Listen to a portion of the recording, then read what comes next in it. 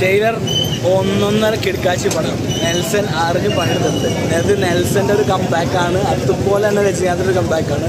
പിന്നെ നമ്മുടെ ലാലേട്ടന്റെ കംബാക്ക് ആണ്. ചെറിയൊരു ക്യാമ്പിയാന്ന് വിചാരിച്ചിട്ടുണ്ടായിരിക്കും ഒരു ഒരു പൂക്കാലം ഒരു ഒരു വർഷാഘോഷമാണ് നമ്മൾ കാരണം അടിപൊളി മൂവി മൊത്തത്തിൽ അടിപൊളിയാണ്.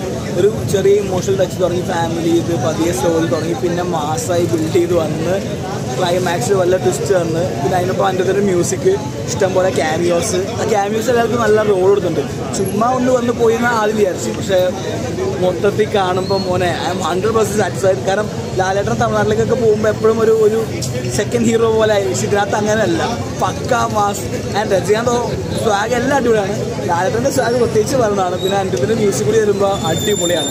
നമ്മൾ ടീച്ചറിൽ കണ്ട ഷോട്ട് ഉണ്ട് ലാലേട്ടനെ നടക്കുന്നത്. അതിന്റെ ഒരു ഫുൾ ഷോട്ട് വിത്ത് അതിന്റെ മ്യൂസിക് മോനെ തിയേറ്റർ പൂരപ്പുറമ്പായി ആൻഡ് ക്ലൈമാക്സ് അത്യാവശ്യം ട്വിസ്റ്റ് ഉണ്ട് ആക്ഷൻ എല്ലാം.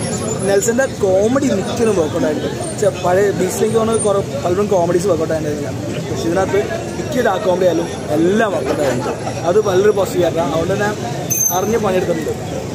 Thank you